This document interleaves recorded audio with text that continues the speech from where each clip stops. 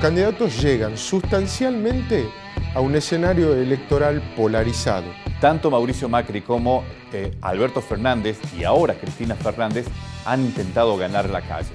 Eh, cambiemos, se juega la vida, digamos. Macri lo hizo a través de su plan 3030, de esto de visitar ciudades y tratar de llegar al corazón de la, de la sociedad. Mauricio pasa a forzar una segunda vuelta electoral, un balotaje que necesita eh, varios milagros a la vez, ¿no? Este, el macrismo saque muchos más votos y además que Alberto Fernández saque muchos menos.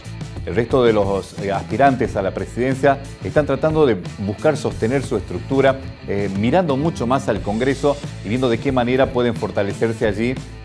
Del Caño sustancialmente va a, a tratar de ensanchar la base histórica electoral que tiene la izquierda y a tratar de sentar sustancialmente más candidatos, eh, perdón, más eh, diputados nacionales en el Congreso.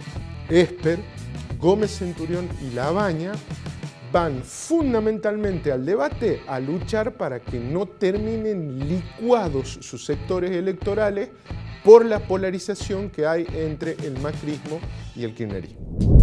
Del menú de temas que tienen que abordar eh, los candidatos a presidente en este segundo debate, el que mejor le sabe al macrismo es indudablemente el de la seguridad.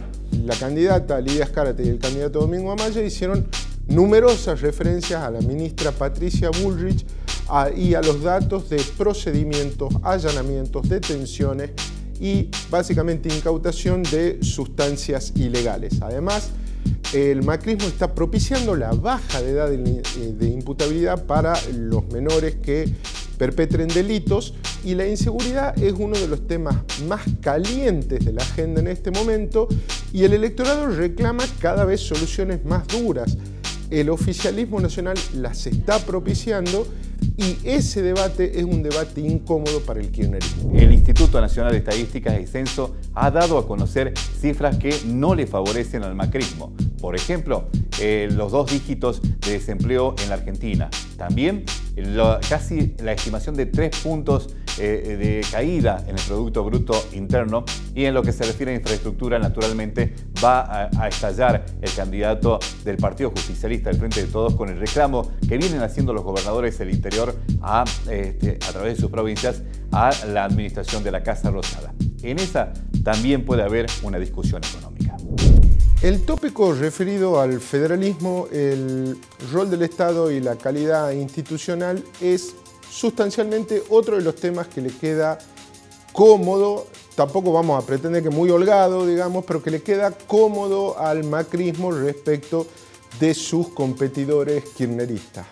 La ventaja sustancial y verdaderamente incontrastable tiene que ver con el federalismo en el reparto de los recursos.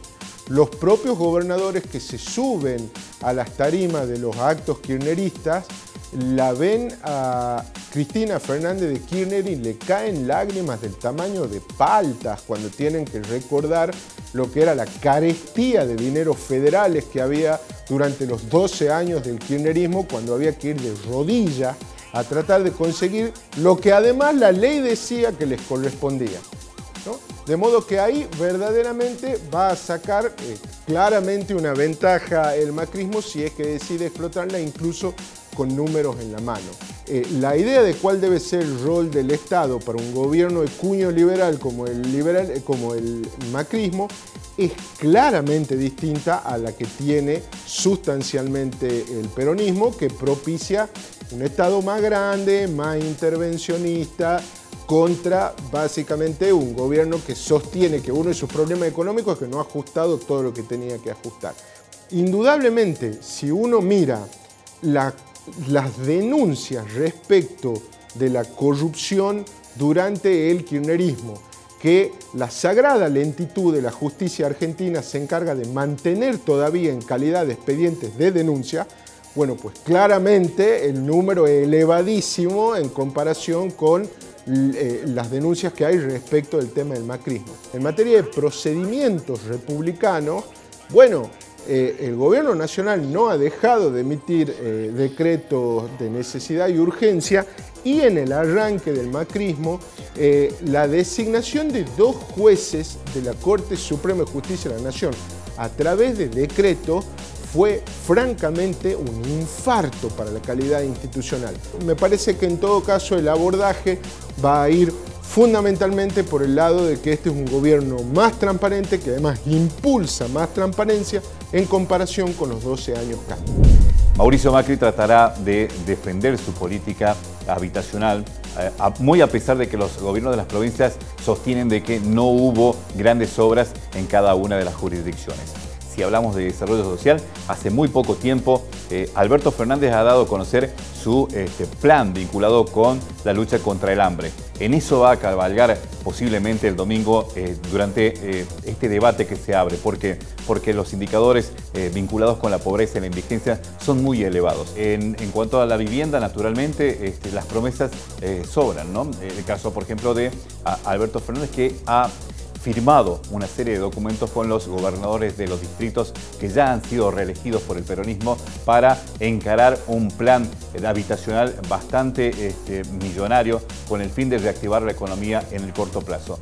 Macri también ha prometido no solamente eso, sino también mayor infraestructura. Mientras tanto, Mauricio Macri cree todavía en la posibilidad de llegar al balotaje con estas recorridas que está haciendo a lo largo del país cree que la sociedad puede darle un voto más para llegar a la segunda vuelta y allí definir una serie de alianzas con el fin de no permitirle al peronismo recuperar el poder.